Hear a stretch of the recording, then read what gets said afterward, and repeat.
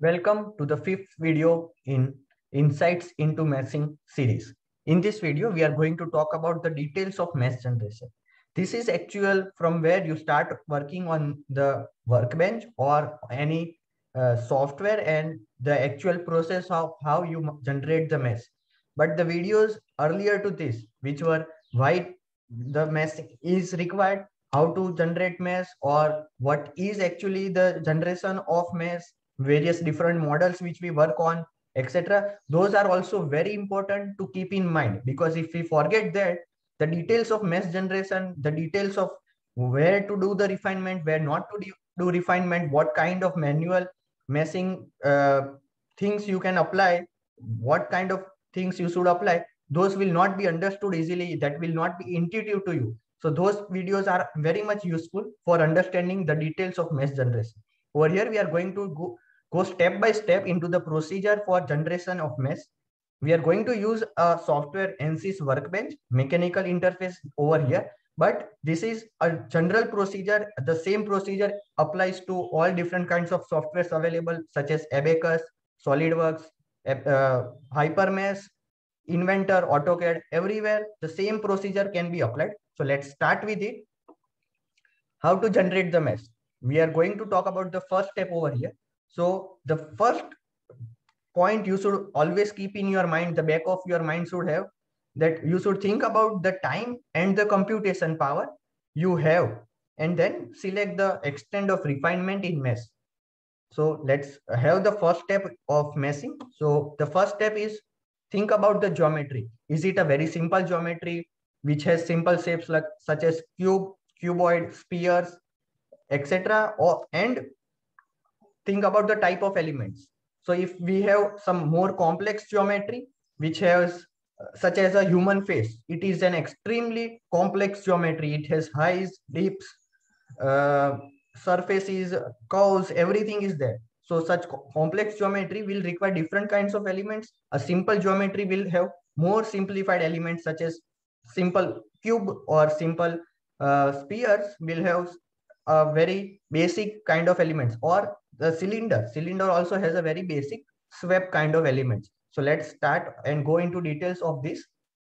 So the geometry can be 1d 2d or 3 dimensional those are the bifurcations you should do. And based on the bifurcations on the kind of geometry you have you should select that geometry file the geometry type and the type of uh, simulation you want to do. If you have a basic 2d uh, planar model or a planar geometry and then if you select a 3D uh, uh, simulation, then you are going to uh, waste the, the time, waste the computation power because everywhere the governing equations will be applied on the on on the view of three-dimensional model, but you have a 2D geometry, so that's a waste of time. If you have a 2D geometry, select for a 2D, uh, two-dimensional uh, model, then in the geometry, the second bifurcation will be if we have a single part, if there is an assembly. For assembly, there are multiple options. One of the option is to mesh on individual parts. Another option is to mesh in the assembly itself. Then in the geometry, if there is a more complex geometry, which I explained earlier, take an example of a human face, then that human face is extremely complex. And in that uh, situation, the first point it should come in your mind is to split that complex body into smaller uniform bodies. So let's go into some examples over here. So let's go. The, the splitting thing is more non-intuitive to some uh, people. So I'll explain the, that and give some details and examples. So the body splitting, there are, this is the first example, which is cylindrical electric battery cell.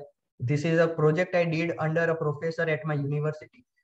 So this was the, the actual body beforehand. It was a simple cylinder, but though it was a very simple cylinder and a swept kind of method can be applied to generate the, the elements or mesh, it was not uh, automatically giving me proper refined mesh, a refined mesh and a continuous elements.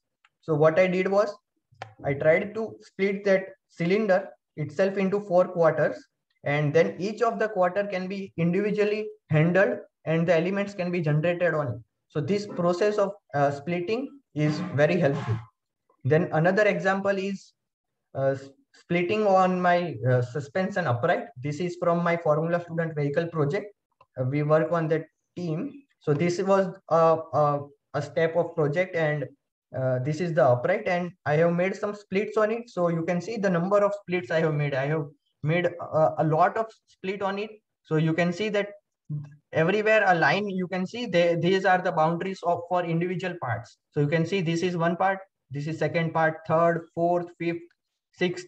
In single small sections also I have made multiple number of uh, splits. So that is later going to help me uh, manually control the type of element, manually control the size of element. If I want to increase or decrease the size of element, have more refined elements in some section or some area, have larger elements in some other area, then all those different kinds of manual control can be easily done on a such body.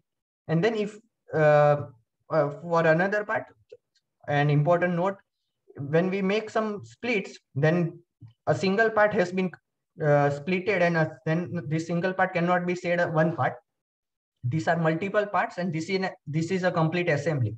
So this complete assembly the number of parts are needs to be bonded with each other. So the type of context should also be defined in that situation. So let's see the details. So this selection means this is one part then this is another one part uh, another part. So these are the details. So in this small section also, I have made multiple uh, split. So that's where it is going to be extremely helpful for me in the next processes. Over here also in the simple fastener which we have, I have made parts. This is one part, this is second part. This small disc is third part. This another disc is the fourth part and the hexagonal head is the next part. So that's where um, this is going to be helpful later so you should understand the three, uh, this process of splitting and able to classify your uh, body or the geometry and then accordingly choose the type of modeling or simulation you want to do. So we'll stop over here. In the next video, I'll talk about the next step, which is um, selecting, uh, selecting the type of elements. So thank you.